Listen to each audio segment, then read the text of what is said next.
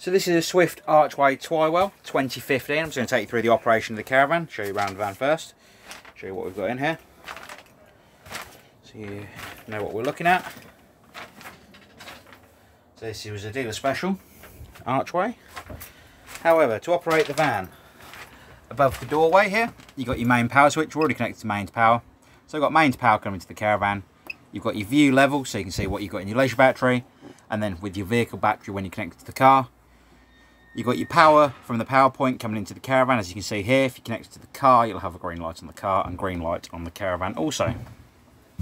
To fill the water system, now, a bit more of a basic video this time, but underneath the seat down the front, the yellow valve that you see there is the drain down valve. So that would need to be shut before you can fill the system. The same as it have been for a number of years now. We're going to you put that valve in the down position so the water system could be filled. You'd then come over to the taps all the way around the van and open them all on the hot side. That would be the tap here, the tap in the bathroom on the sink, and the shower itself in the bathroom. Then you'd come over to the control panel above the door again, and with the Aquaroll connect on the outside, you'd hit the water pump, and that would start filling the water system on board the caravan. Once the water's coming out of the taps continuously on each tap, you can shut each tap and then you can go to your water heating and hot water uh, heating and hot water control panel. So the black panel up here is the heating and hot water control panel. You'd hit the center button. The first icon you see here flashing is the internal temperature. So to change temperature, you spin the dial. So for instance, you want it at 15 degrees, you'd hit the button in the center and that will set the temperature of the internal of the caravan. If you want to turn on the hot water. You spin the dial round to the right when you're on this main home screen. Hit the button again. And then you've even got you've got 40 60 or boost for the hot water itself. Now if you're showering you'll have it on boost. If you're doing washing up etc you'd have it on 60 and if you just want to the water on so it's warm enough already you'll just have it on 40 spin the dial round and you've got your option to run your different power sources for the heating and hot water. So you've got gas on its own 1000 watts of power and a gas combination. Mix 2, 2000 watts of power and a gas combination. Electric 1, which is 1000 watts of power on its own, so that's similar to the old twist dials on the old Truma heating systems. 500, 1000, 2000 down the side. And then you've got electric 2, which is 2000 watts of power. Here on site, we can run on electric 1, so that's what I'm going to currently put it onto. Here on the end, you've got your fan speed, so this is your blown air. You've got eco or high, and that'll kick in and start blowing the air around the van. At the bottom here, you've got a couple of symbols here. So you've got your timer for your heating and hot water, which you can have, if you have a read of the book, it'll, it'll describe how to do that. A warning light in the center here, which has come on, which is letting me know the water heater was turned on. You then got your water heater was empty and turned on. You've then got the clock, and then you've got your uh, settings for the um, engineers on site, or the on, uh, our engineers on site. Underneath the seat down the front here, underneath. You have got your mains control unit underneath there. So you've got your master shutdown so you can shut down the whole power to the van. 12 volt fuses. Your charger system. Your heating and hot water which you can leave on because it's controlled on the panel behind me. And then the spare fuse in the end which again you would leave on.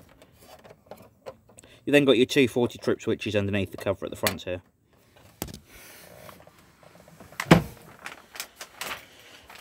With the fridge, fairly straightforward to use again. Not much different to how they've been for the last, I don't know how many years now, but uh, quite a few years now. Power on.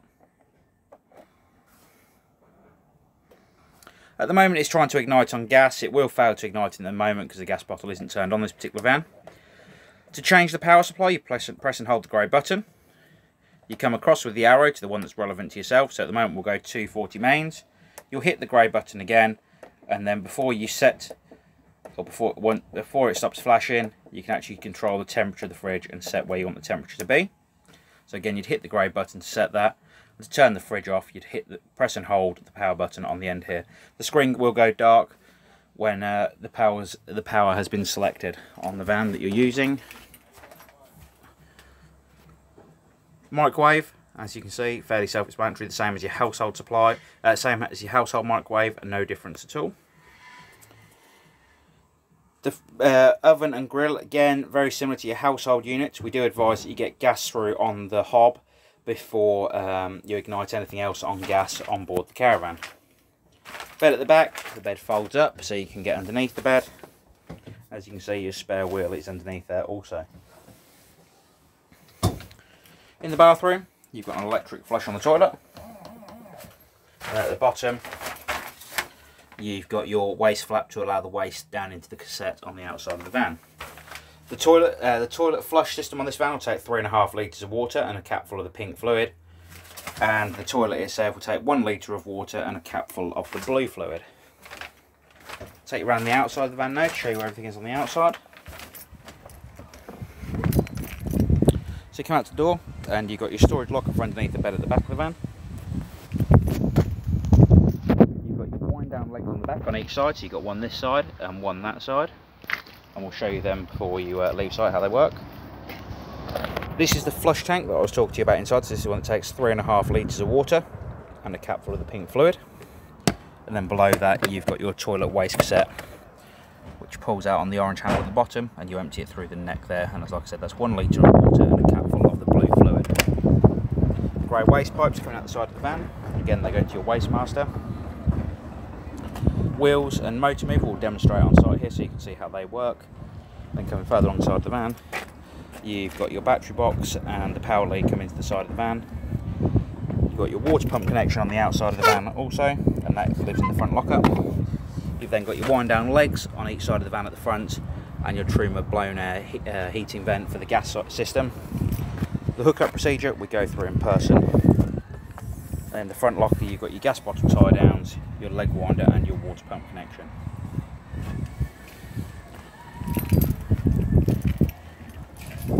So we'll go back inside to finish the video off. So if you've got any further questions on the Swift Archway Twywell, please do give us a call here at the Caravan Company and we'll do all we can to assist you. Thank you very much. Bye bye.